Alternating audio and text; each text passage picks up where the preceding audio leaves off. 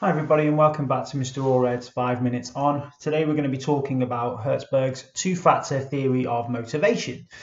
Um, this is really applicable for those people studying A-level business studies, um, so hopefully this will give you some background context into the study and allow you to look at the pros and cons of how that study actually looks in the real world.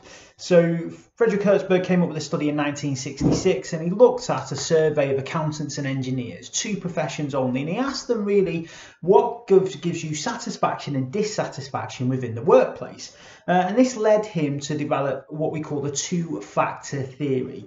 Um, so he split these into two areas, one he called motivators and one, one he called hygiene factors. And we'll talk about those separately, starting with motivators.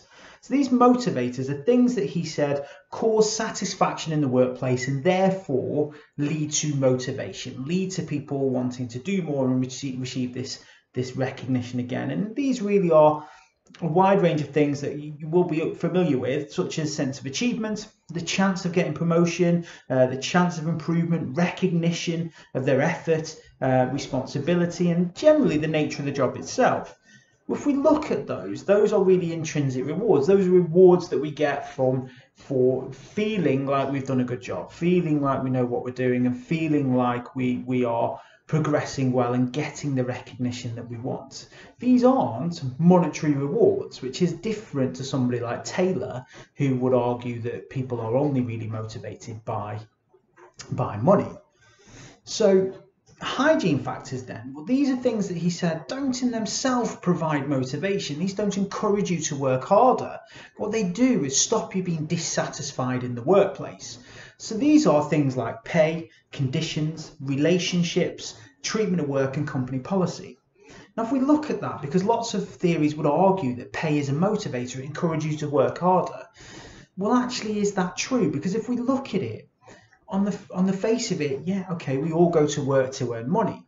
But when we start thinking about pay as a motivator, if I'm paid a certain level, let's say forty thousand pounds, and I feel that I'm working well and I deserve that forty thousand pounds, paying me more if I'm working really hard doesn't give me more motivation because I feel like I'm doing well already.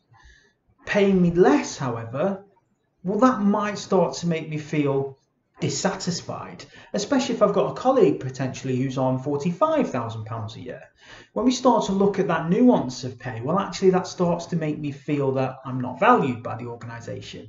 At that point, then I start to become dissatisfied. At that point, I start to underperform. I start to see a dip in productivity and perhaps therefore lead into demotivation. That's where his theory would differ from somebody like Taylor, who would argue that pay is the prime motivator. You pay people more, they'll work harder. In theory and in practice, is that actually true? And Herzberg argues no, that actually paying somebody a correct level, having the correct sort of conditions for them to work in, will lead them um, to feel satisfied in the job, eventually with other motivators in place. You might notice that this has lots and lots of similarities to Maslow's hierarchy needs. One, we're actually grouping needs together, which in itself can be problematic, but they did group the needs together. But there's a major difference. You see, Herzberg said those bottom levels, that physiological needs, those security needs, those love and belonging needs, those really are his hygiene factors. Those are the ones that he says actually in themselves don't provide motivation. They just need to be there for that person to feel like they can then be motivated in the long run through those higher order things such as self esteem and self actualization that Maslow talked about. The theories are very similar in that respect, but obviously differ in terms of that what provides motivation and what doesn't.